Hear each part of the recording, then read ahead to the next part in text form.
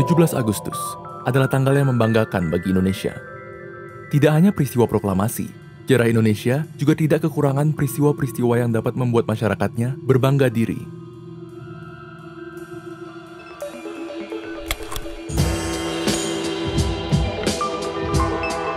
Sama seperti Indonesia, Mesir pun pernah dijajah dan dimerdekakan oleh pemimpin hebat. Mesir juga pernah mendorong negara tetangga untuk menentang penjajahan. Dan tak hanya politik, Mesir memiliki banyak ikon musik, layaknya Roma Irama atau Frank Sinatra. Dan layaknya Indonesia, Mesir pun memiliki masa yang kelam. Setelah meninggalnya Nasser dan berkali-kali gagal menghancurkan Israel, moral bangsa Mesir hancur. Perasaan kecewa dan marah mencengkram seluruh Mesir. Mesir berada dalam kesulitan. Dari dalam negeri, masyarakatnya resah. Dan dari luar, dua negara tetangganya mulai mencari celah untuk menginfiltrasi dengan pengaruhnya masing-masing. Video ini adalah bagian pertama dari dua bagian seri yang membahas sejarah singkat Mesir.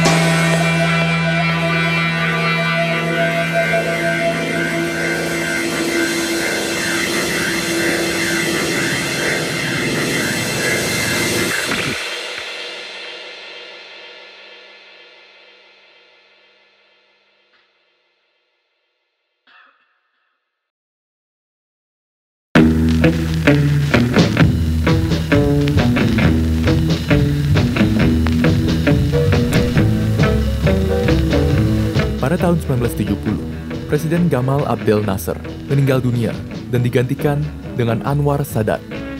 Kala itu, Mesir sudah menjadi negara yang sangat progresif dibandingkan tetangganya. Di bawah Nasser, Mesir dengan gencar menyebarkan paham sosialisme bangsa Arab dan persatuan dunia Arab melawan penjajahan.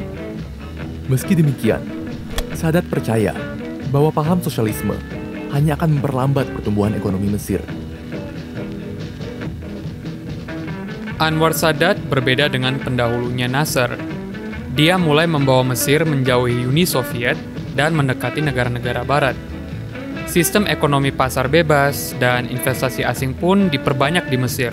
Dan alhasil, pertumbuhan ekonomi yang pesat terjadi.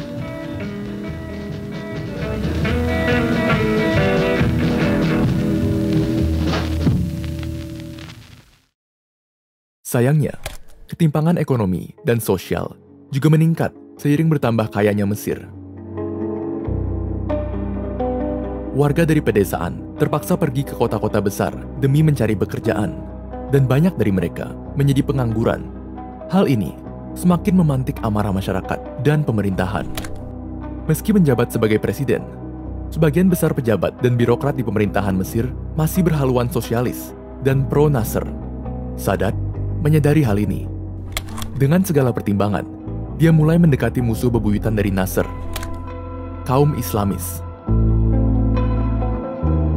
Pada tahun 1971, dia mengamandemenkan konstitusi Mesir yang kini menyatakan bahwa sumber hukum Mesir adalah syariah Islam. Tak hanya itu, dia juga memberhentikan pejabat-pejabat yang berhaluan Nasser. Dan atas nama demokrasi, dia melonggarkan kekangan akan kaum Islamis yang dulunya ditekan oleh Nasser.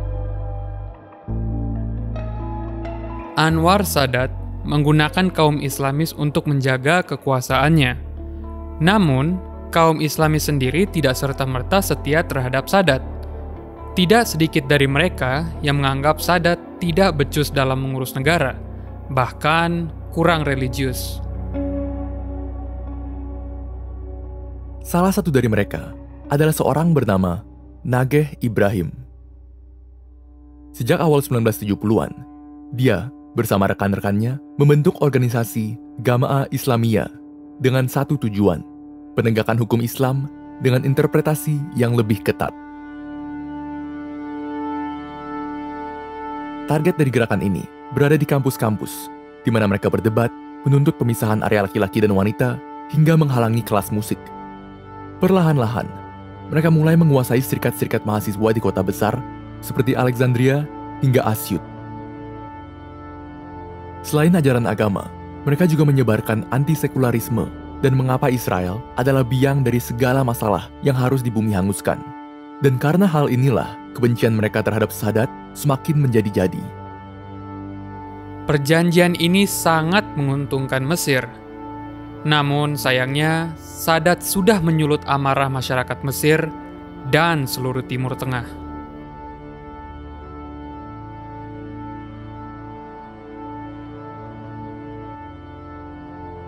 Semenjak tahun 1973, Israel menduduki seluruh semenanjung Sinai setelah mengalahkan Mesir dalam Perang Yom Kippur. Good evening. This is the third day of the new Middle East fighting, and the Israelis say the tide is turning in their favor. That they control the skies, have cleared the Golan Heights of Syrian troops, and are preparing to counterattack along the Suez Canal, with the Egyptian southern front there already crumbling.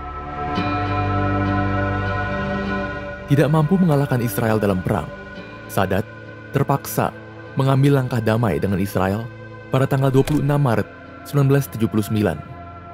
Let there be no more wars or bloodshed between Arabs and Israelis. Egypt and Israel had a peace treaty, a treaty formally ending three decades of war. Dalam perjanjian ini, Mesir dapat menguasai kembali seluruh semenanjung Sinai. Namun, Mesir harus membuka hubungan diplomatik dengan Israel. Di mana-mana terdapat protes yang mengecam Sadat. Liga Bangsa Arab memindahkan pusatnya dari Mesir ke Tunisia.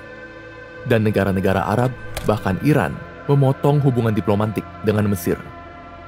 Sementara itu, Ayatollah Khomeini yang memimpin Iran berkat revolusi Iran melihat potensi akan revolusi serupa di Mesir. Dia tidak segan-segan menghimbau masyarakat Mesir untuk menjatuhkan kekuasaan Sadat dalam sebuah wawancara televisi. Dan pesannya didengar dengan jelas.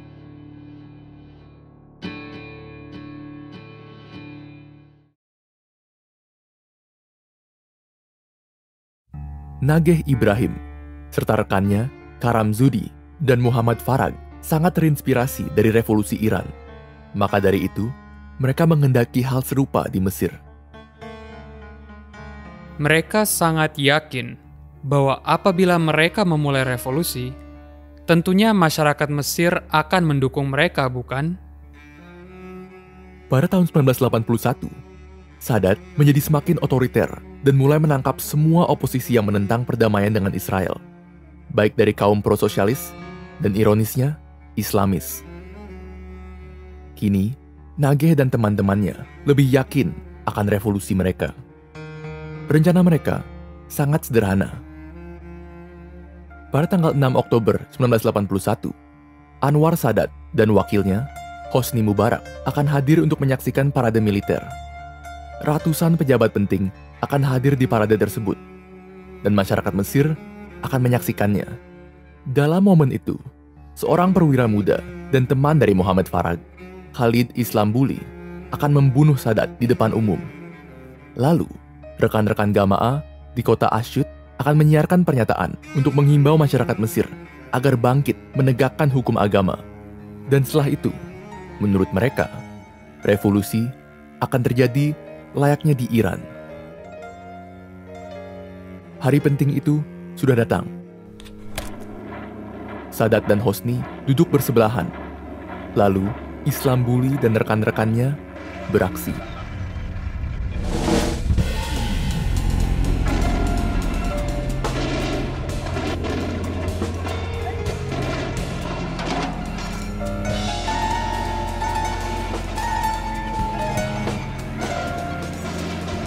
Suddenly, a grenade was thrown and shots fired from anti-tank units moving directly in front of President Sadat. Thinking it was all part of the military display, it took seconds to realize the bullets were for real.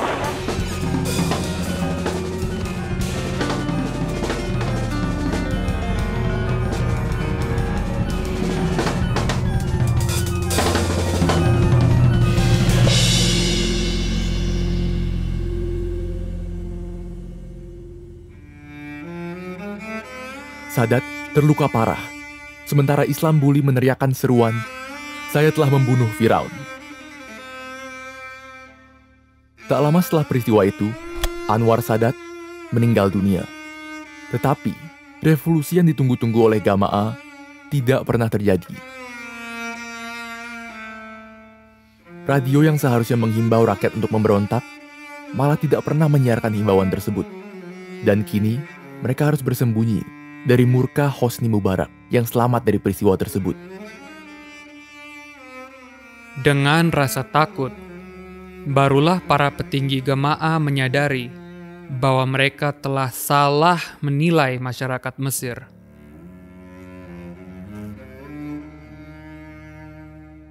Sejak saat itu, anggota-anggota Gama'a dan ribuan Islamis lain diburu dan ditangkap.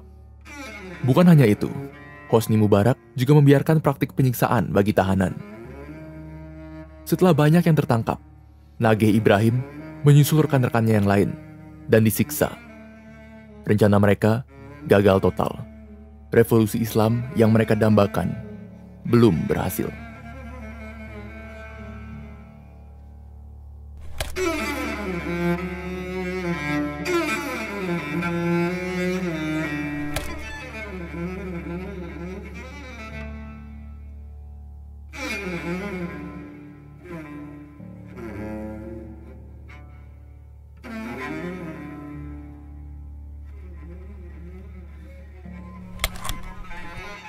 Mm-hmm.